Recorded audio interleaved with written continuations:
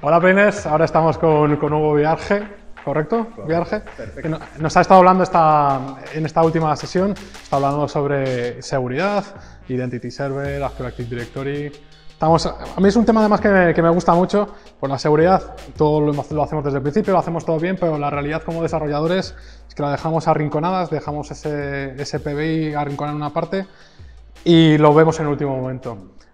¿Crees que realmente que OpenID o que OAuth pueda, pueda hacer que esto mejore, que intentemos enfocarlo de otra manera? o- No, no- sé si, es, eh, si, si la, la tecnología que usemos eh, resuelve el problema de que la seguridad es algo que tocamos así con un palo, eh, que tenemos que introducir en todos los proyectos, pero que ay, es que no acabo de saber muy bien cómo funciona esto, no sé cuáles son las características de- del cliente de la aplicación que tengo, cuáles son los requerimientos exactos del cliente, dónde se va a integrar con un directorio activo, con unos usuarios locales. Entonces, creo que es más una cuestión de de educación interna, creo que todos los desarrolladores deberíamos dedicar un poquito más de tiempo a aprender cómo funciona, pero los, los propios estándares web, ¿eh? cómo funciona, eh, cuál es la diferencia de una de autenticación con cookies en una aplicación server-side rendering o aplicación con tokens en un API, ¿sabes? A veces no llegamos a tener muy claro cuál es esa diferencia y tendríamos que dedicarle un poquito de esfuerzo, de cariño e interés a ese tipo de cosas. Pero No, que entonces a lo mejor sería incluso desplazar el, el foco del tiempo que invertimos en voy a desarrollar algo nuevo, voy a invertir para fabricar algo nuevo, sino a lo mejor es estudiar y analizar los, los estándares. Conocer un poquito las bases, yo creo que sí. O sea, como desarrolladores al final, eh, tanto eh, desde el punto de vista de .NET como de otras plataformas, nos dan como todo muy mascadito, muy envuelto, ¿sabes? En un caramelito, nos lo dan todo hecho y especialmente en Microsoft. Yo soy muy crítico aquí, eh, me río porque algunos me dicen que, que soy muy cañero con esto, pero... Pero parece como que la seguridad está ahí escondida, ¿sabes? La parte de autenticación está completamente escondida y dices, cuanto menos la vean los desarrolladores y sea una caja negra que nadie conoce, mucho mejor. Y eso no favorece a que nosotros conozcamos un poquito cómo funcionan esos internals.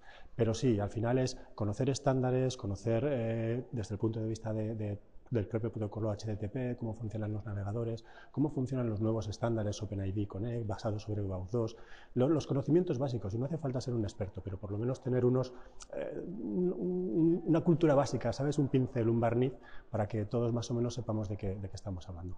Entendiendo que es complejo. ¿eh? Yo eh, la charla eh, la empiezo diciendo que la autenticación es complicada, siempre es complicada, porque hay muchas variables, hay muchas opciones diferentes, muchos escenarios diferentes y por lo tanto es difícil acertar exactamente con, ¿sabes? con la fuerza con la que tienes que apretar la tuerca, la fuerza exacta con la que tienes que apretar la tuerca. Tal cual. Ha- Hablas también en la, en la sesión, hablas de opciones como tenemos de Identity Server, Azure Active Directory, eh, ADFS, B2C.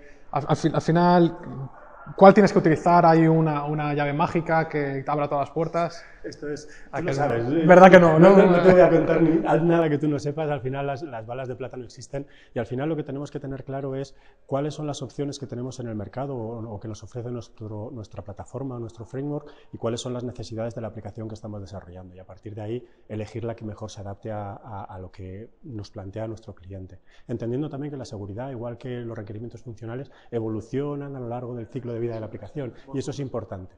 Entonces, eh, que nosotros tenemos un escenario en el que nuestros usuarios son locales, bueno, pues podríamos ir a, un- a- a utilizar Entity, eh, ASP.NET Identity, perdón. Eh, si nuestro, nuestro cliente utiliza un directorio activo, sea ADFS en local o un directorio activo en local expuesto con un ADFS o un Azure Active Directory y solo queremos utilizar el directorio y solo tenemos usuarios corporativos, esa sería una muy buena opción. Eh, pero si tenemos alguna, algún requerimiento adicional en el que tenemos que usar usuarios locales, pero además eh, usuarios corporativos, porque tenemos un mix extraño desde el punto de vista de la gestión de identidad dentro de la corporación, pues probablemente soluciones como Identity Server eh, encajarían muy bien.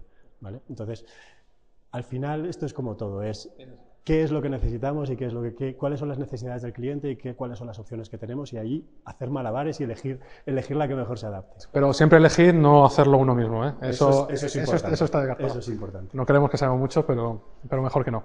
Ya, pa- para terminar, ya, ya analizando tu trayectoria profesional, hemos estado charlando un ratillo. Y, y al final me gustaría ver el enfoque que tiene alguien que, que al final es una, una trayectoria, has sido monitor de actividades eh, física, bueno, de, montaña en este caso. has, hecho de presentador también, se nota. una, eh. pequeña etapa.